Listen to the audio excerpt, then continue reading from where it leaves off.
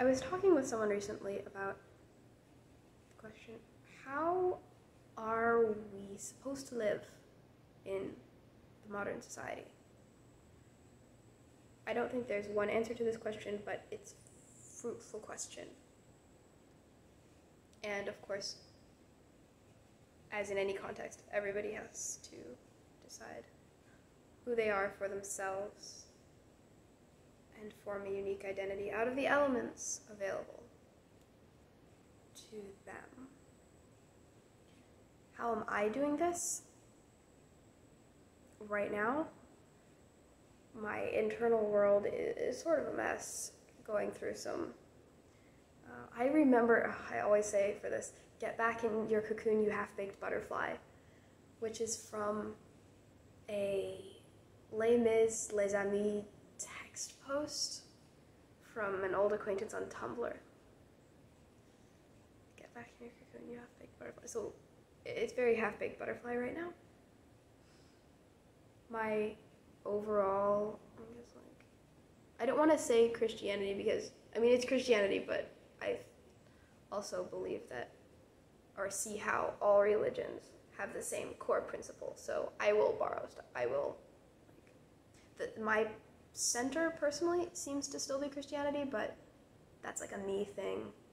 I don't think it has any inherent worth over any other system. It's just I'm attached. So my Christianity slash my overall universal metaphysical faith is kind of sputtering. It goes back and forth. So I'm like, yeah, and just a lot of transition periods in life in general at the same time. Some days I wonder, should I really prayed that I want the fastest way? Should I, is this truly a wise request for, for the universe? Of course it is, though. I don't regret anything. However, I'm like reading this book by David Bentley Hart on nature and supernature. It's very good, but half of it I'm like cold to, so I'm like translating his terms into terms that actually apply to my personal where my heart is and trying to understand it that way. And then I'm like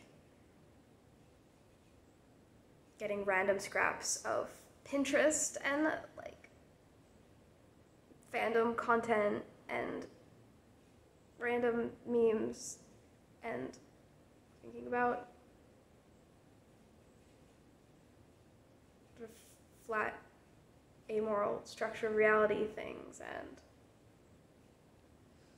staring longingly at this engraving of Jesus, which is on my wall. It's him walking through the crowd on his way to be crucified. It's a good picture.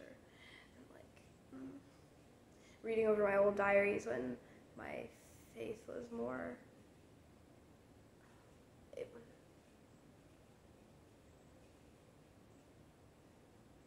was easier or uh, smaller in a way, but also because there were those more clear channels, it was just it was just easier. And therefore I direct many longing glances at said picture. And listening to like Rasputin, which is the Spotify angels have presented to me and um, now living rent free in the brain, and the like Harry Potter in 99 seconds and the Lord of the Rings in 99 seconds song, and all of these coexist. So,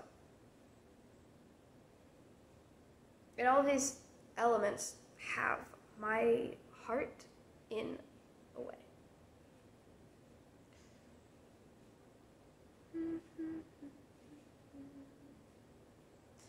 So, I have just decided this is not a bug, it's a feature. This is just the way that I should live in the world. I do think the beautiful thing about a living a gestalt, any gestalt, but especially a living being when you get to that level of complexity, is that what it is really doing is synthesizing and embracing contradiction and juxtaposition. I mean, Jesus is a very clear archetypal case of that, as he takes the very highest and you know, in the worldview in which humans are hopeless sinners, the very lowest, and just like, or really, he takes the lowest because he takes the lowest of like evil and he synthesizes all of those and somehow manages to live, move, walk around, have his being, and join those. And because he exists, or because this figure of Christ and Jesus exists, those two contradictions are now joined.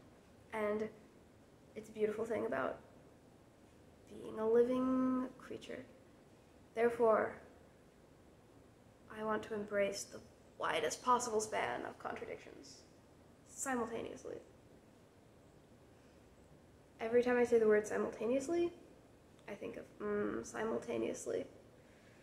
was from when I would frequent the now dead and mourned site, chatwithyourself.com, where you could chat with yourself like in just a single chat room, but other people could watch you what you were saying to yourself, but they couldn't participate.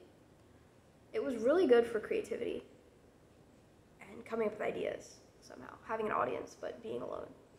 And but of course, humans being humans, we figured out a way to chat across the chats. And there were people that would hack into somebody's chat, and they would be called Chads. I think would, that was the name for them. And anyway, one of these people would say mm, simultaneously.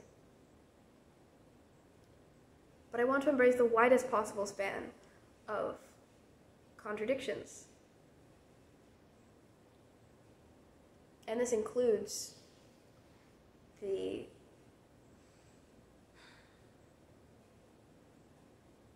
I, I recognize the good in the ancient world that is really fallen apart these days and is really lost. And I draw on sort of trying to revive uh, of dead traditions and tradition that has just been forgotten and like the saints and Orthodox Christianity, which has very deep roots and which leads to a sort of scorn for anything that's modern, right? Because it's like mm, all degenerate by now. But I live in in the, the 21st century and have also and recognize the good that is in our age. And I have, like, so much tenderness for Gen Z, basically, I guess. My, I'm like an old Gen Z, my generation, and my time. And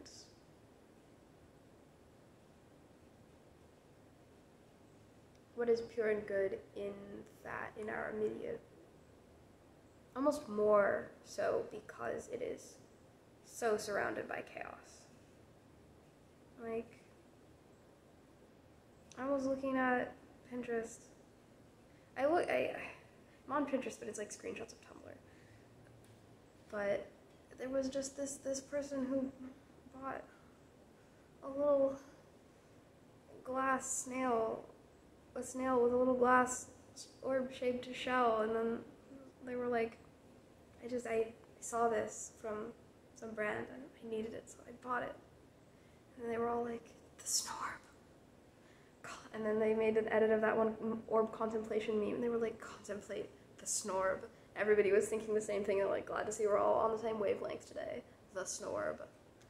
The Snorb is a pure and good part of modernity. Like climbing gyms, there's another one. Or the genuine love and the genuine tolerance and wider acceptance of people who are different.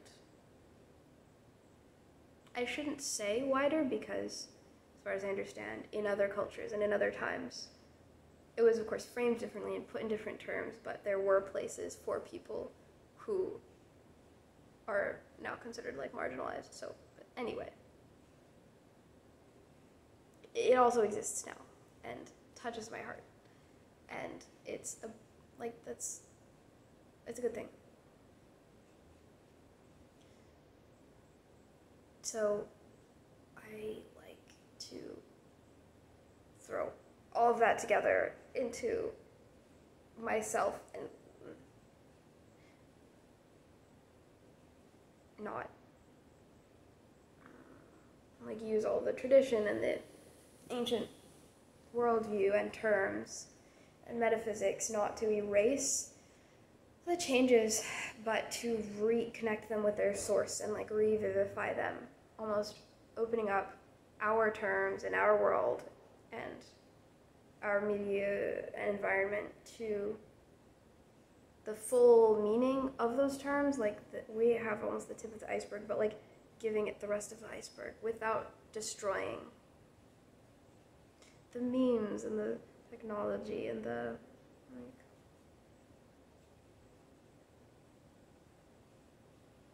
like identity of modernity in the positive sense. I feel that I've developed and of course continue to develop. I have a decently solid sense and like discernment for what is good, like light and like attractive. Secondarily, what is part of me personally. So like the things that that are good, that I value, that have value, that are like pure and good. Or as Cal Rivets says, and if I'm a pattern, an instance of my pattern. So I think that I've developed a good discernment of that. Like I know when something is. You could think of it as a little, a little bit of light in something. And so now I tr- I want to save. They shine so bright. I want to save that light. I can't escape this now. All of the like pop, random pop songs that I heard marginal in the in the background as a kid. I have nostalgia for them, therefore collected them all, listened to them, and then end up quoting them at moments. I'm very caffeinated right now.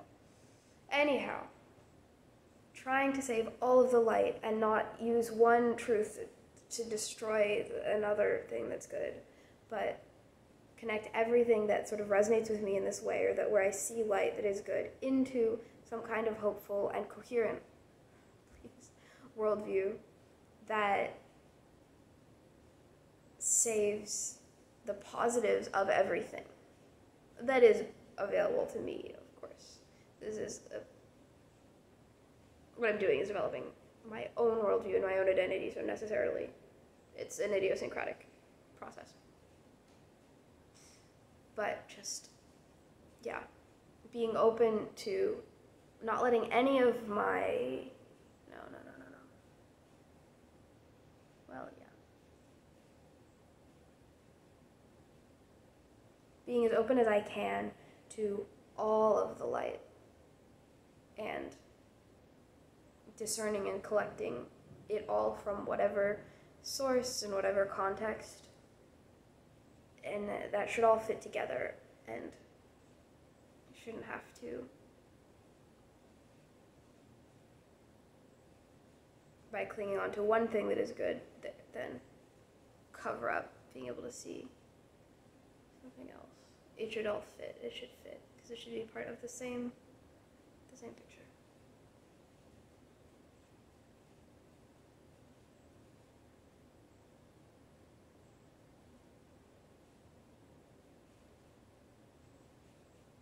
I came up with other overall life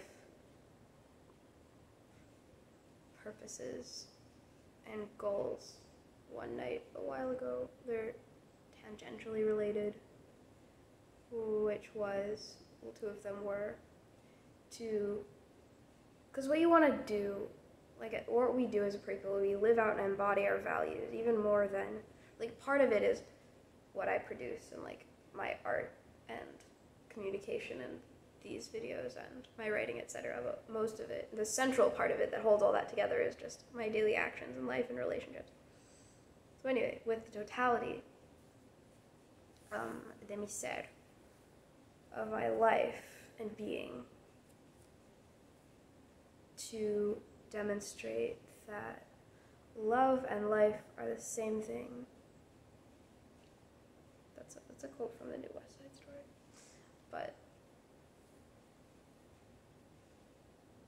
I always wonder when does a quote, when does something that I've borrowed become enough of a part of me that I no longer um,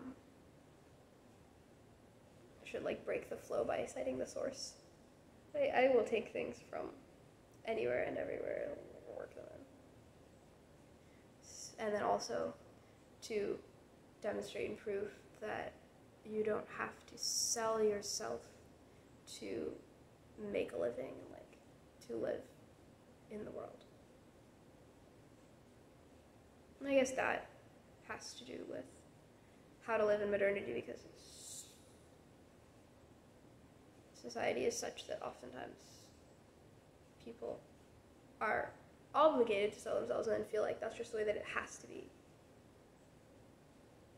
Um, like to dehumanize yourself in some way in order to fit in and in order to be able to continue to exist in this context.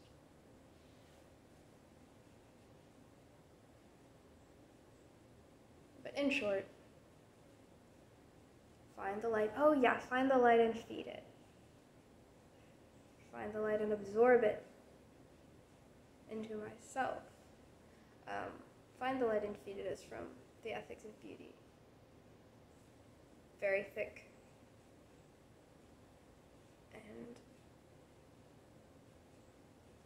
very good book. Um,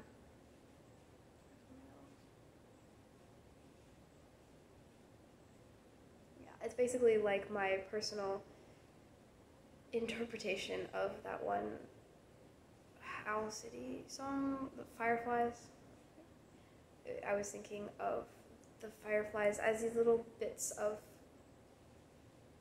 truth or beauty or like transcendence or like little bits of the logos and universal meaning that are sort of scattered and hidden through things.